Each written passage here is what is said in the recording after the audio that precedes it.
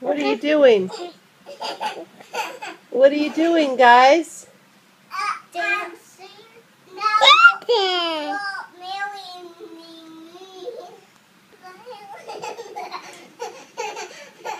What are you doing, Margaret?